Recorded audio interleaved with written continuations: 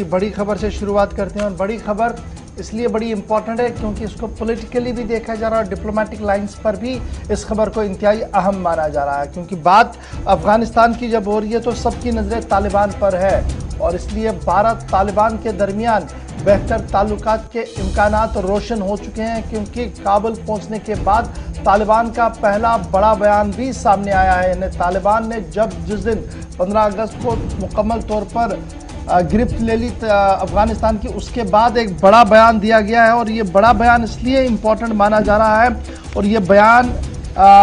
भारत और अफ़गानिस्तान की आने वाली सूरत हाल की अक्कासी कर सकता है। तालिबान के सबसे बड़े कमांडर की तरफ़ से बयान दिया गया है और इस बयान के अंदर साफ़ कर दिया गया है कि तालिबान भारत के साथ हर मुमकिन रिश्ता बेहतर करना चाहता है। शहर मोहम्मद अब्बास जो डिप्टी हेड है तालिबान के और दोहा के अंदर मौजूद हैं, उनकी तरफ़ से पश्तों के अंदर तकरीबन 40-45 मिनट का एक वीडियो नशर किया गया है और ये वीडियो नशर किया गया सोशल मीडिया प्लेटफॉर्म के साथ साथ अफ़गानिस्तान का जो मिली टेलीविज़न है वहाँ पर इसको नशर किया गया है और उस दौरान, उस 45 मिनट की बात के दौरान उन्होंने इस बात की वजाहत कर दी है कि किस तरीके से भारत के साथ वो रिश्ते बेहतर करना चाहते हैं, यानी जिस तरीके से पाकिस्तान के साथ वो रिश्ता बेहतर करना चाहते हैं, इसी तरीके से तिजारत हो, सकाफत हो और दीगर मामला हो, वो सारी चीज़ें जो है वो भारत के साथ बेहतरी के साथ आगे बढ़ना चाहती हैं। और ये बयान कब आया है? जब अकवा मुतहदा सिक्योरिटी काउंसिल के अंदर एक महीने की सदारत भारत के पास थी अगस्त के महीने में और उसमें उस रेफरेंस को ड्रॉप कर दिया गया, उस पैराग्राफ को ड्रॉप कर दिया गया, जिससे अफगानी लोगों और मुल्क दुनिया भर के लोगों को कहा गया था कि तालिबान की मदद ना की जाए, क्योंकि तालिबान इंतहा पसंद और दहशतगर्द तंजीमों की मावनत और मदद कर रहा है। ये पैराग्राफ ख़त्म करने के साथ जहाँ तालिबान के लिए राहें आसान हुई है वर्ल्ड वाइड फंडिंग को रेज करने के लिए, वहीं पर बयान अब सामने आया है। तालिबान के सेकेंड इन कमांड की तरफ़ से शेर मोहम्मद अब्बास की तरफ़ से, जिसमें उन्होंने ये साफ़ कर दिया है कि सूरत हाल किस तरीके की है और क्या कुछ आगे करने की ज़रूरत है। और ये बयान इसलिए भी बड़ा इंपॉर्टेंट माना जा रहा है क्योंकि पाकिस्तान की तरफ़ से लगातार अफ़गानिस्तान की सूरत हाल पर जब गुफ्तु होती थी तो पाकिस्तान का एक मौक़ ये आता था कि भारत की मुदाखलत अगर अफ़गानिस्तान के अंदर बढ़ती है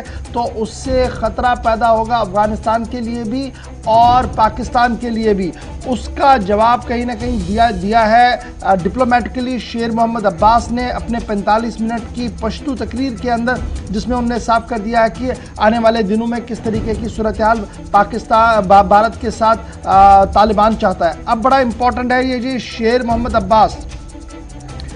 इब्तदाई खबरों के मुताबिक शेर मोहम्मद अब्बास ने इंडियन मिलिट्री एकेडमी देहरादून के अंदर सन 1980 में उस अफगान ग्रुप की क्यादत की थी आ, जो वहाँ पर ट्रेनिंग के लिए आया था।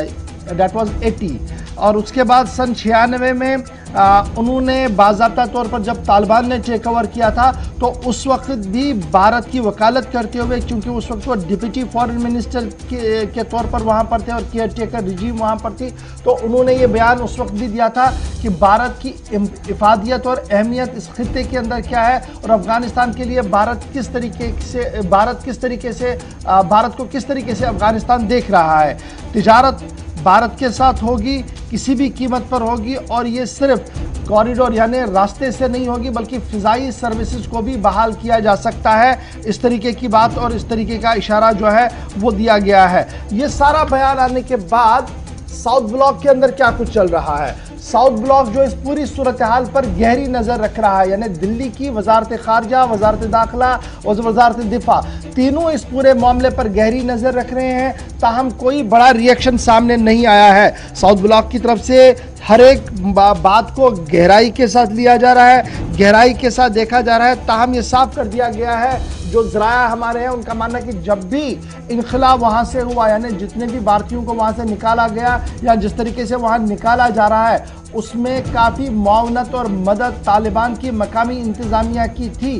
तभी जाकर यह मुमकिन हुआ कि भारतीयों को वहाँ से एयरलिफ्ट करवाया गया। तैयारे वहाँ डाउन हुए, अप हुए और उसके बाद भी जो सूरत हाल है, वो सबके सामने कि एक एक करके अब बयान सामने आ रहे हैं। ये टॉप इन कमांडर जो दोहा के अंदर है, उनका बयान है, लेकिन आपको याद होगा कि दो बड़े बयान भी इससे पहले आए हैं। जो तालिबान के तर्जुमान है, उन्होंने जहाँ पाकिस्तान को अपना दूसरा घर कहा, वहीं भारत के साथ रिश्ते उसवार करने, बेहतर करने के लिए कोशिशों में आगाज़ भी किया जाएगा। सोलिया का बयान भी गुजशत दिनों सामने आया था। उससे पहले जबील्ला मुजाहिद का बयान भी आपके सामने है, जिसमें उन्होंने कहा था कि इस पूरे खत्े के अंदर, जहाँ भारत और पाकिस्तान को बैठकर अपने मसाइल को हल करना होगा, वहीं पर अफ़गानिस्तान की सरजमीन को किसी भी तरीके से इस्तेमाल करने की इजाज़त किसी को नहीं होगी। तो ये बड़ा बयान माना जा रहा है जो तालिबान के सबसे बड़े लीडर शेर मोहम्मद अब्बास की तरफ़ से दिया गया है और ये बयान डिप्लोमेटिक लाइन्स में काफ़ी बड़ी डेवलपमेंट